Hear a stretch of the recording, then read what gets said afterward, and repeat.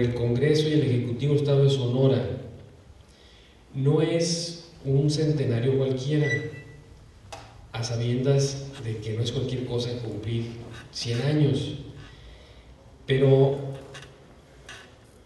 esa decisión que tomaron estos dos poderes, el Congreso y el Ejecutivo, tuvo unas consecuencias de larga duración para el país y para Sonora, y por eso conviene repasar el entorno en el que se dieron y los efectos que tuvieron.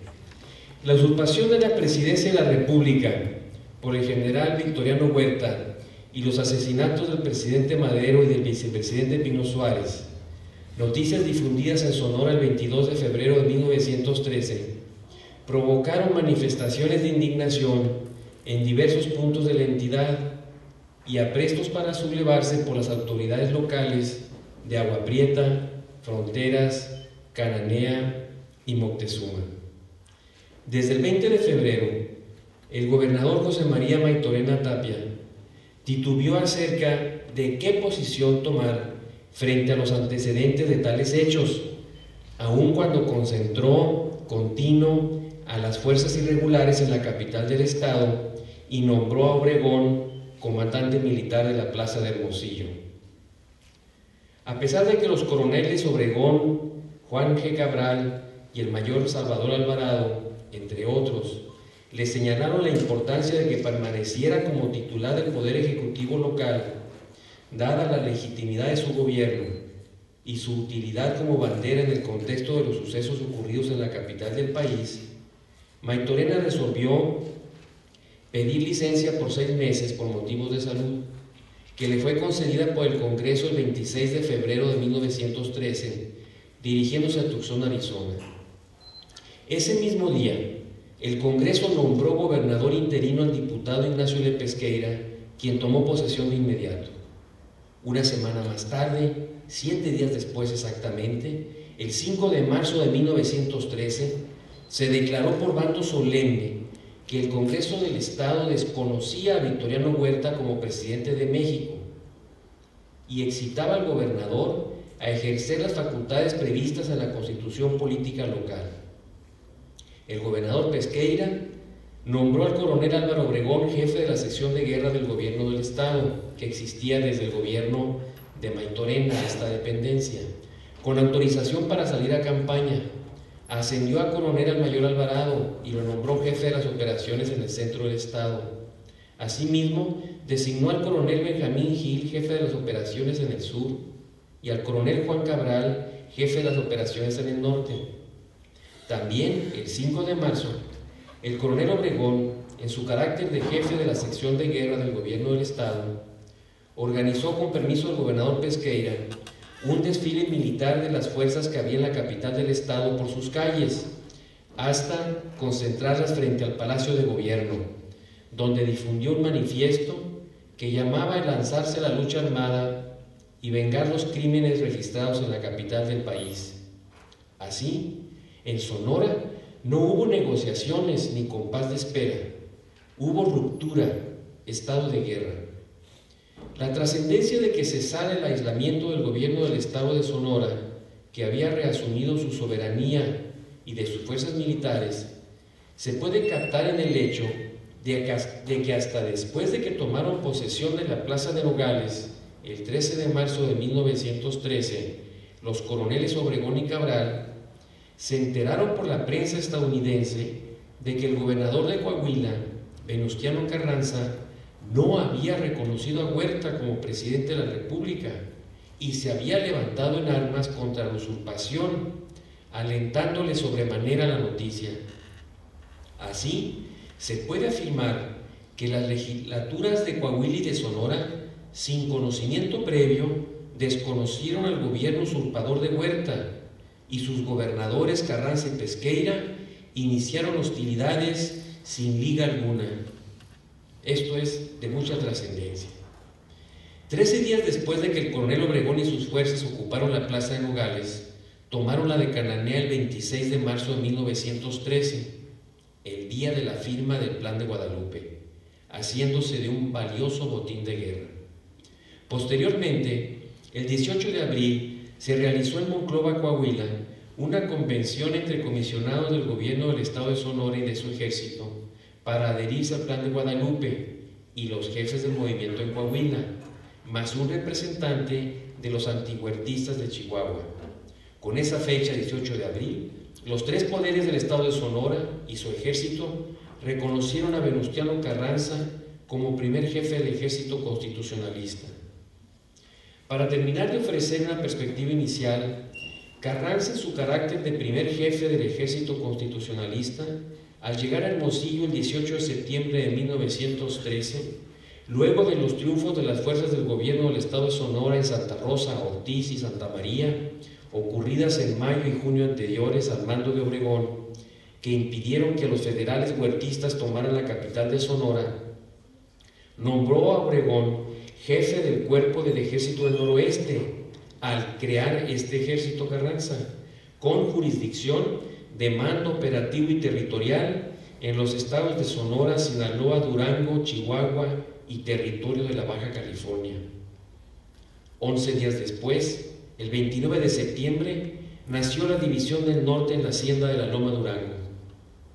Estas notas buscan esclarecer el papel de la población residente en el estado de Sonora en el conflicto suscitado por el golpe de Estado que llevó al asesinato de Madero y Pino Suárez y a la presidencia de la República al general Huerta, y la respuesta opositora expresada en el constitucionalismo.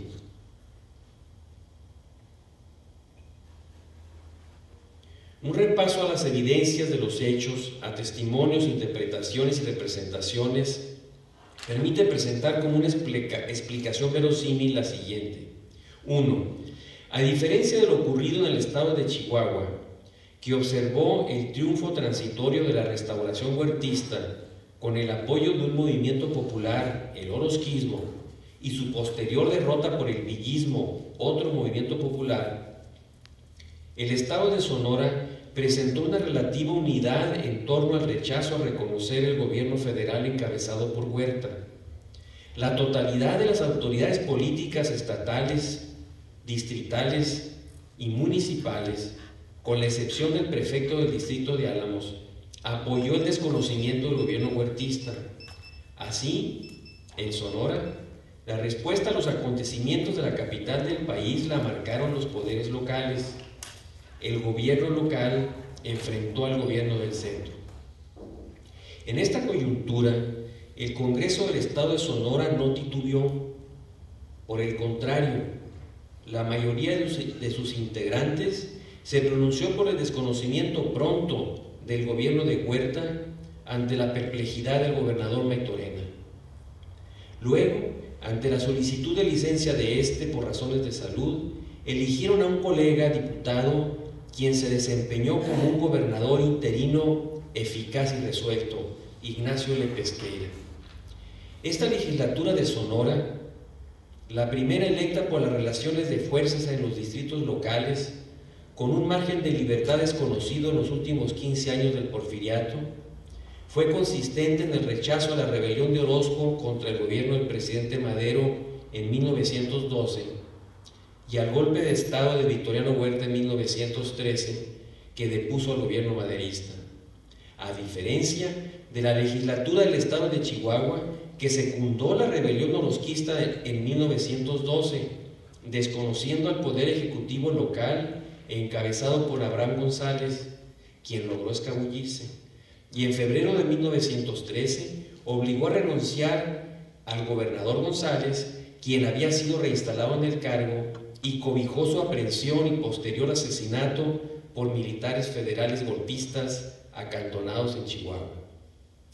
La alineación de la mayoría de la población en contra del gobierno de Huerta en Sonora es registrada por un militar federal que conocía a sus habitantes y a su geografía. Luis Medina Barrón, entonces recluido en Guaymas por el sitio impuesto por los sediciosos o separatistas, como él llama a las fuerzas sonorenses que habían desconocido al gobierno de Huerta. Así, En un informe que rinde Medina Barrón el 1 de agosto de 1913 al secretario de Gobernación Urrutia, señala, cito, en Sonora hay sobre las armas no menos de 7.000 hombres, entre los cuales se encuentran los yaquis en número más o menos de 2.000, que son unos magníficos guerrilleros. El resto se compone de fuerzas que en el nefasto maderismo eran tropas pagadas por la Federación, como son los cuerpos rurales y batallones auxiliares, que a la caída de Madero se levantaron por iniciativa de Maitorena y sus secuaces principales. Todos están perfectamente armados y con suficiente dotación de municiones debido a que tienen la frontera con los Estados Unidos completamente abierta. A este número, que ya de por sí es abrumador, hay que aumentar a casi toda la gente del Estado que simpatiza con ellos y que sin armas les presta un valioso contingente como es dándoles noticias, guías y abrigándolos. Fin de la cita.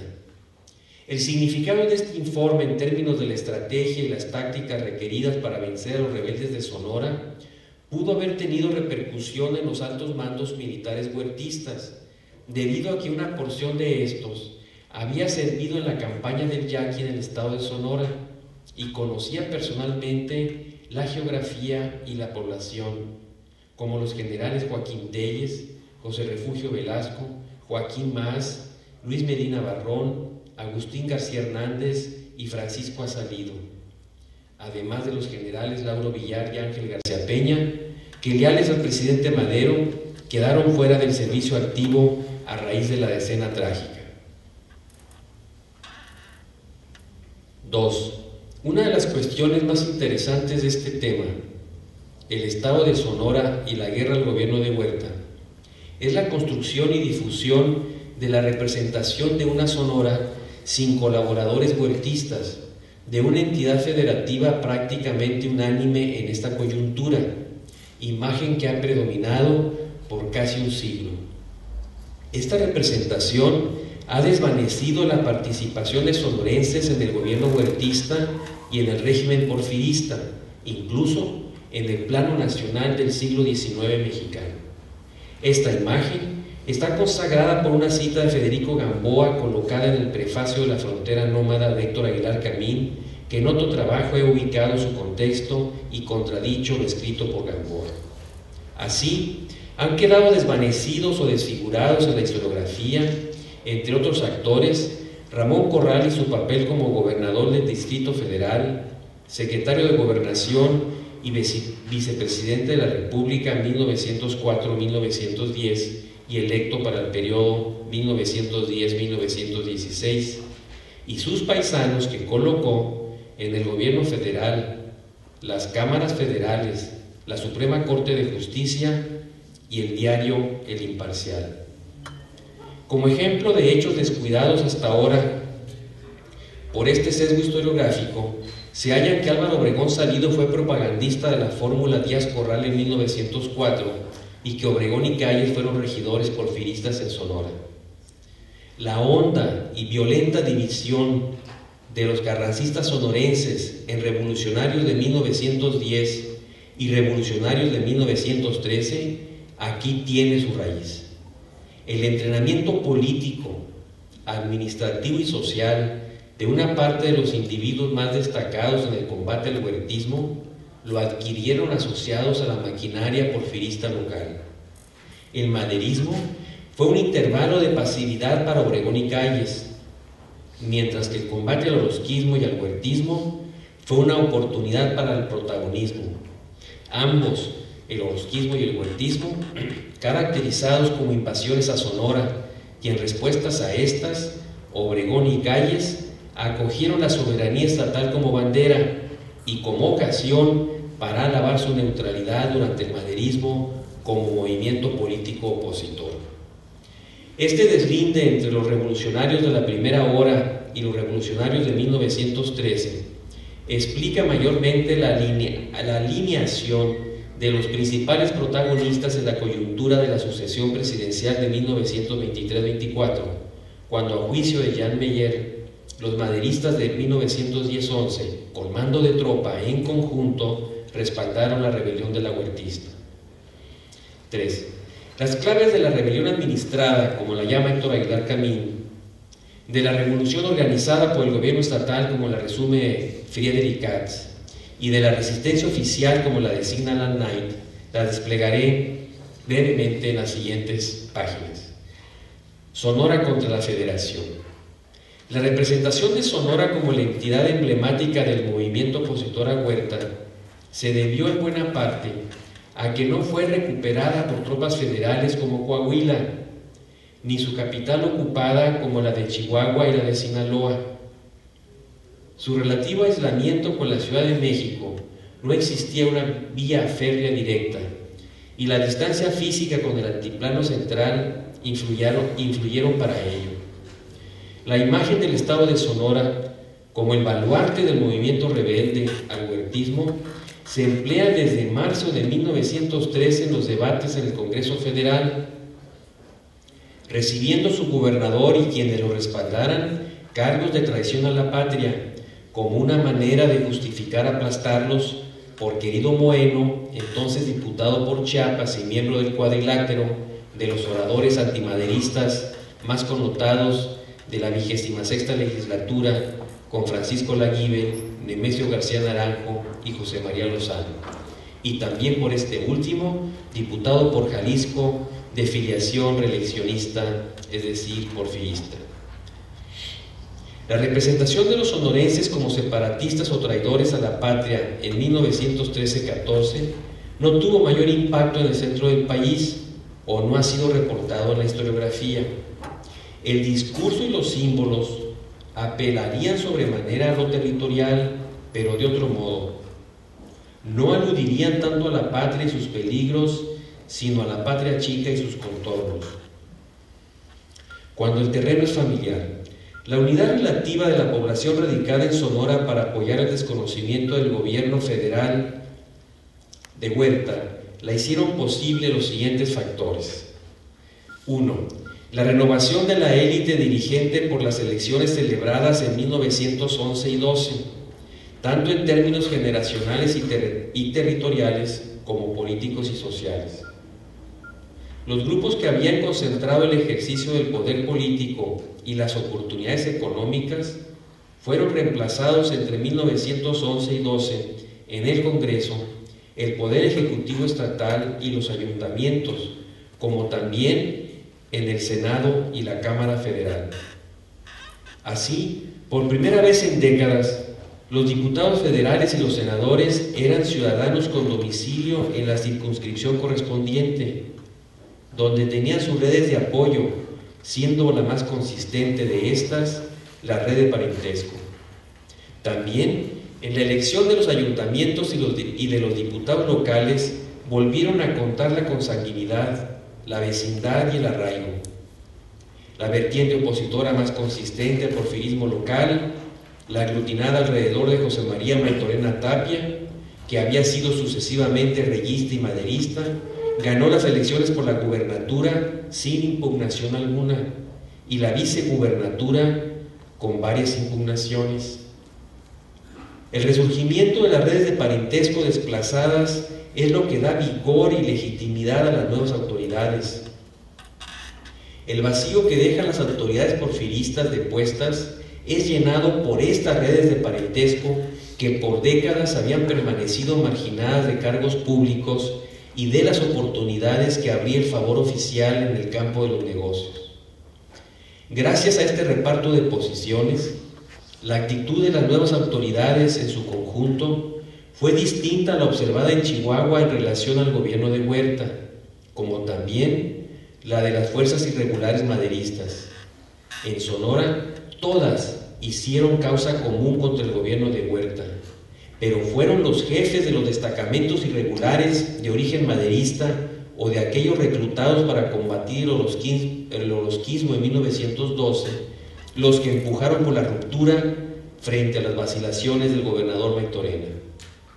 Las autoridades surgidas de las elecciones de 1911 y 12 obtuvieron recursos para librar una guerra convencional y organizar un ejército regular gracias al acceso a la frontera con los Estados Unidos para vender productos regionales, comprar armas y percibir los ingresos de las aduanas. Esto, más las fuerzas maderistas que no fueron disueltas en el caso de Sonora, Maitorena maniobró con Madero con acierto en este punto, y de las fuerzas municipales que combatieron exitosamente a los contingentes orosquistas, propiciaron una movilización centralizada y vertical, y confirmó un liderazgo organizado, conformado por élites que mayormente provenían de clases medias y en varios casos eran parientes pobres portadores de apellidos emblemáticos regionales como Elías y Salido, lo que trajo estabilidad social, eficiencia logística y respetabilidad. Se evitó así la violencia intestina, el desorden social, la polarización, el caos o la parálisis, a pesar de que se cambió de gobernador. Se organizó una fuerza militar local disciplinada y equipada, familiarizada con las prácticas y tradiciones de combate de las guerras del Yaqui y trayendo en la memoria colectiva la bicentenaria guerra Apache. Sabían para qué servía el ejército y desconfiaban de la iglesia.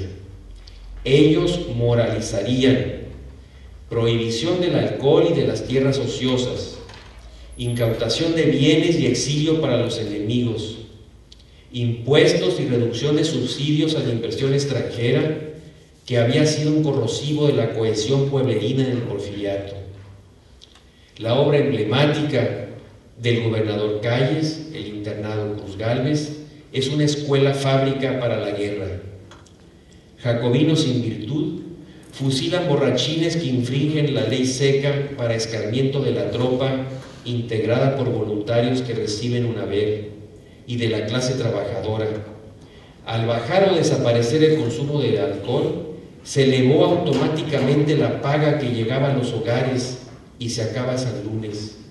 Necesitan edificios en Hermosillo, los toman de la iglesia. Los cónyuges tienen ahora una espada sobre sus cabezas, la ley del divorcio. Él o ella puede irse de la casa legalmente. Los cambios son para hacer de Sonora un lugar propicio para los buenos negocios, para hacerla productiva y moderna. La cohesión de estas élites y de la población general proviene de la experiencia que trajo el porfiriato a la región, la duplicidad de la modernidad. El advenimiento de la modernidad, su cristalización, trae tanto consecuencias trágicas como emancipadoras.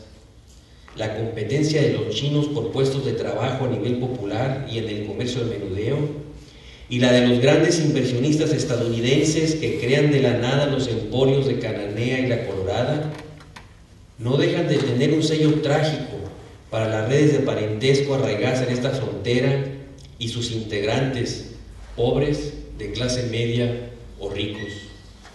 La estabilidad política, el aumento de población y las comunicaciones habían traído calamidades. La competencia y la diferenciación económicas en el ingreso y en el consumo. 2. La experiencia exitosa en el combate al orosquismo y a otros grupos armados, vasquistas, magonistas, reyistas, y en la contención de los yaquis rebeldes entre 1911 y 13 por parte de los destacamentos irregulares de origen maderista y de fuerzas organizadas por los ayuntamientos, todos aglutinados por el gobierno del Estado que creó una Secretaría de Guerra.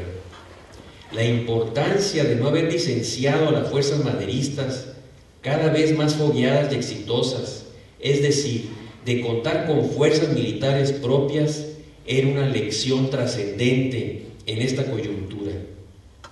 3. La intransigencia del gobierno de Huerta manifiesta en el asesinato alevoso del gobernador de Chihuahua, Abraham González, y en la prisión en la Ciudad de México del depuesto gobernador Felipe Riveros de Sinaloa y su reemplazo por el general huertista José Legorreta, nombrado gobernador interino por el Congreso local. Medidas que sugerían el destino que aguardaban a las autoridades sonorenses sí cedían. 4.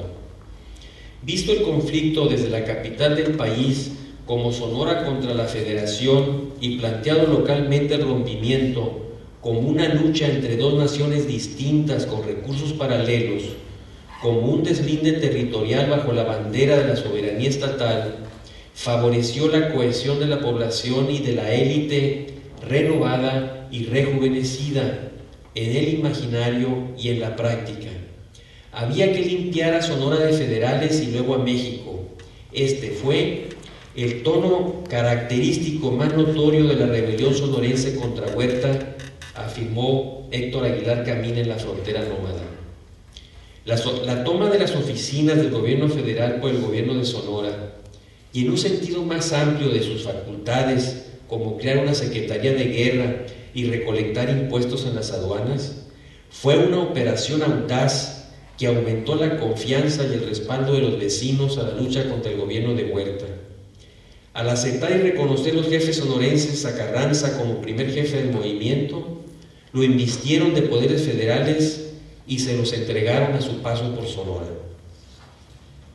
Para alejarnos de voluntarismos, hay que subrayar dos de los factores geográficos que favorecieron la rebelión en bloque del estado de Sonora, como la llama Alan Knight.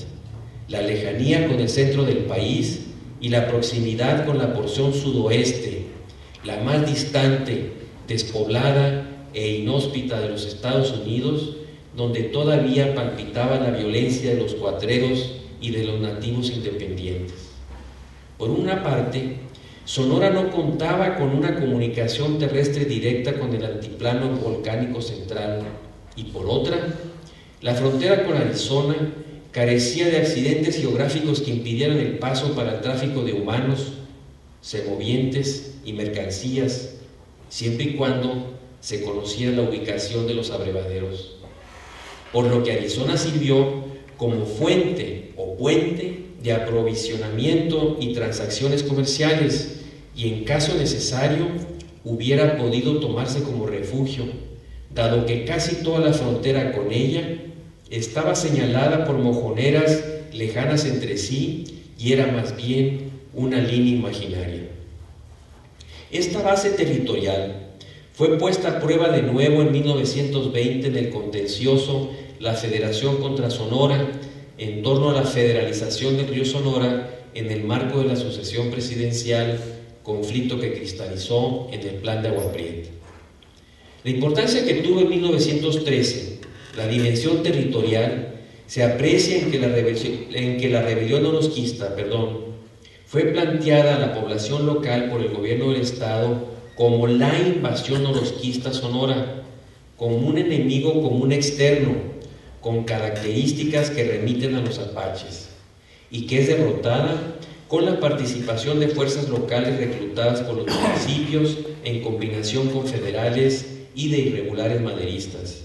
Ahí nació la carrera militar de Álvaro Obregón Sabido. Otra muestra de la trascendencia y polivalencia de la temática territorial en la época es que el Congreso Federal, controlado por los huertistas, debate fraccionar el estado de Chihuahua en dos territorios federales y un estado. Los territorios se llamarían Bravo y Jiménez y volver territorio federal al estado de Morelos. En marzo de 1913, los participantes en los debates de la Cámara de Diputados recurrían a la cuestión territorial al tildar de separatistas a los rebeldes antihuertistas de Sonora y al arguir que es interés del gobierno estadounidense que México se desmembre hasta hacer de esta gran nación cuatro o cinco harapos centroamericanos. Por otra parte, la importancia de la cuestión territorial en la historia de Sonora se capta en los siguientes puntos. Sonora ha sido una entidad con una multicentralidad al contar con varios centros urbanos semejantes que compitieron entre sí por la sede de la capital del estado, como Arispe y Álamos, como Arispe y Ures, como Ures y Hermosillo. El siglo XIX sonorense registró una larga pugna por definir la sede de la capital todo lo contrario a lo sucedido en el estado de Chihuahua a este respecto, donde rara vez estuvo en discusión la preeminencia de la ciudad de Chihuahua. Todavía, hacia 1883, la ubicación de la sede episcopal en Sonora causó polémicas entre gentes de Hermosillo y Ures. Los antagonismos regionales amainaron el porfiriato, pero sin dar lugar al predominio sobresaliente de una red de parentesco como el adquirido por los terrazas en Chihuahua. En Sonora, las élites regionales y subregionales, constreñidas por una accidentada geografía, las distancias y la violencia intermitente de los nativos, oscilaron entre el aislamiento y las alianzas. Esto favoreció el papel de arbitraje del presidente Díaz y del triunvirato, formado por dos individuos de fuera de la entidad, Luis e. Torres de Chihuahua y Rafael Izábal de Sinaloa, y uno de fuera de la capital, Hermosillo, Ramón Corral, quien provenía del sur, de Álamos, región cuyas élites habían permanecido en el ostracismo los 20 años de hegemonía de los Pesqueira y demás redes de parentesco del distrito de Arizpe. El apaciguamiento de los antagonismos regionales al interior de la entidad fue acelerado por el ferrocarril, cuyo trazo confirmó y tornó irreversible el desplazamiento del eje de la población y de la economía desde la sierra a la faja costera. Desde 1884, el ferrocarril desjunta los pedazos de Sonora y pone en contacto a los sonorenses, como lo sugiere el predominio del uso de la tarifa más baja de pasaje y de los tramos cortos. Los pasajes de tercera clase corresponden al 66% del, del total en 1892 y al 70% en 1905 y se reporta que en los primeros años de operación el 86% de los pasajes es tráfico local, mayormente al próximo poblado mientras que al exterior, Nogales, corresponde el 14%, principalmente de estadounidenses. La extendida apreciación de la importancia de lo territorial para la población de Sonora se reforzaba por la disputa por el espacio ocupado por yaquis, mayos, seris y pápagos. El despojo de las tierras de la población indígena continuaba sin parar desde principios del siglo XVIII. El discurso de las autoridades yaquis incluía su autodesignación como nación, aparte de la mexicana. Los yaquis, hasta el porfiriato, permanecieron por fuera de la iglesia y del Estado, estaban fuera del alcance del gobierno y del brazo de la ley y la policía. Tenían su base territorial en la Sierra del Bacatete y el Valle de Aguacaliente, cuando se replegaban de las márgenes del río, entonces cubiertas por tupidos bosques. Aun cuando desde 1913 dio un desprendimiento de yaquis rebeldes que, incorporados al ejército federal, formaron un cuerpo permanente que atacó a sus hermanos de raza, el resto de los yaquis rebeldes permanece cohesionado hasta 1913, cuando algunos se alistan en las fuerzas de Obregón y los más en las de Maitorena, y son un espejo para el resto de la población de la entidad en cuanto a la importancia de contar con una base territorial y una población cohesionada y en cuanto al precio que hay que pagar cuando no se cuenta con ellas. Durante el porfiriato debutó un grupo social cohesionado, los chinos, cuya convivencia con la población sonorense traía consigo dificultades culturales para algunos insalvables. Así, puede decirse que del porfiriato había una ondulante y tensa frontera interior en Sonora. Los focos de yaquis rebeldes y de mayos levantiscos, los seris nómadas, los chinos en todas partes, colonias menonitas en la sierra, las parroquias católicas en manos de sacerdotes foráneos, el ejército permanente con sus cuarteles y torreones, y la diversa y dispersa inversión extranjera que era un corrosivo social y político para los pueblos, con sus capataces, reglas y regímenes especiales, como el usado para pagar a la fuerza de trabajo, con vales y jolas o cacharpas, sobre todo en las explotaciones mineras modernas que horadaban el subsuelo dejándolo como queso gruyere. Stuart Boss resumió esta mezcla de violencia y coerción en una frontera añeja y nueva a la vez, al señalar que, cito, en 1900 Sonora tenía el mayor contingente de fuerzas públicas de todos los estados y en 1910 casi doblaba el número de fuerzas armadas federales de cualquiera de los demás estados. Y al llegar a 1910, Sonora tenía un mayor porcentaje de residentes extranjeros que cualquier otro estado y ocupaba el segundo lugar en números absolutos.